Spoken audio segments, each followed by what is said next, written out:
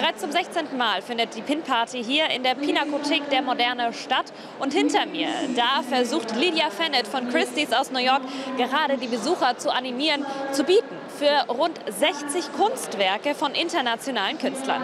Zur Pin-Party kommen jedes Jahr deutsche und internationale Förderer der Pinakothek der Moderne. Was die Veranstalter besonders freut, auch immer mehr junge Menschen begeistern sich für moderne Kunst.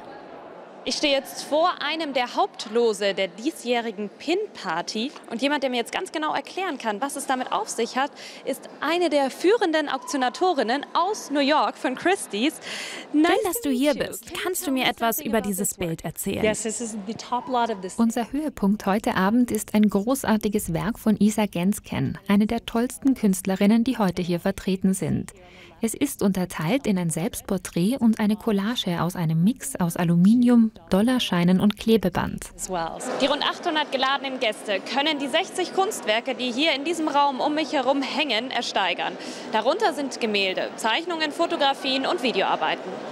Zwischen den tollen Bildern befindet sich auch eine Skulptur mit dem Namen Love Hate. Was hat es denn damit auf sich? Ne, Love Hate ist ein Ambigramm und äh, ist wahrscheinlich so alt wie die Welt selber. Es ist ein Dualismus, es sind zwei Gefühle, die nicht unterschiedlicher sein können.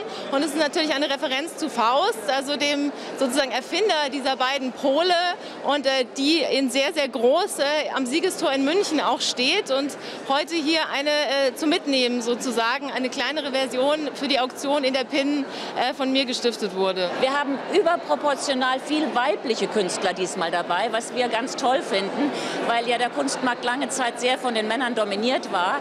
Äh, der, der Auftrag von PIN, den Freunden der Pinakothek, ist es ja, dass wir dem Museum viele Dinge ermöglichen, die nicht im Haushalt vielleicht äh, vorhanden sind.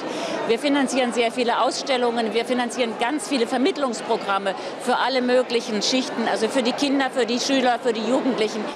PIN trägt seit über 50 Jahren mit bisher 1300 Ankäufen und der Förderung von Ausstellungen dazu bei, dass die Museen in der Pinakothek der Moderne und das Museum Brandhorst an Größe und Ausstrahlung gewinnen. Also das Bild heißt Antiquity. Ähm, es zeigt eine junge Frau, die äh, von der Akropolis in die, in die, in die Landschaft hinuntergeht.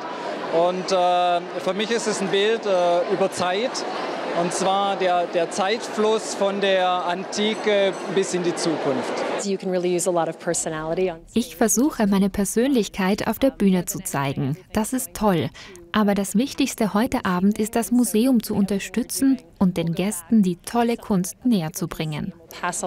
Wie erwartet brachte das Top-Los von Isa Genskin mit 100.000 Euro den höchsten Erlös des Abends. Insgesamt sind durch die Benefizauktion eine Million Euro zusammengekommen.